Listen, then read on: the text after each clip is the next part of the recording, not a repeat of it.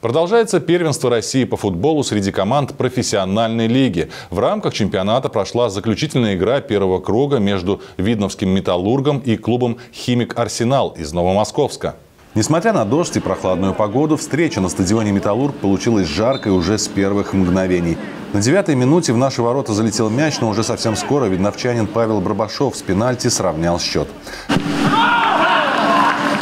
К игре наши футболисты подошли в хорошей форме, но вот спортивная удача пока отвернулась от «Металлурга», потерпевшего поражение в нескольких последних матчах.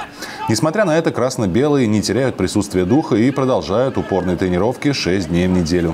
Последняя игра тура уже вряд ли мы сейчас поправим наше турнирное положение, однако э, бороться нужно в каждом матче, за каждый, в каждом так, даже единоборстве, вот, э, за каждый мяч. Из-за пандемии матч проходил при пустых трибунах, но поддержать ребят пришли одноклубники, которые сейчас не выступают из-за травмы. Все мы хотим выиграть, у нас была серия неудач, охота ее прервать и на хорошей ноте закончить сезон, точнее первый круг. Равный счет сохранялся до конца первого тайма. Уже в втором видновчане оформили еще один гол в ворота соперника и вырвались вперед. Но первенство не удержали. По итогам эмоциональной встречи счет 2-3 в пользу гостей.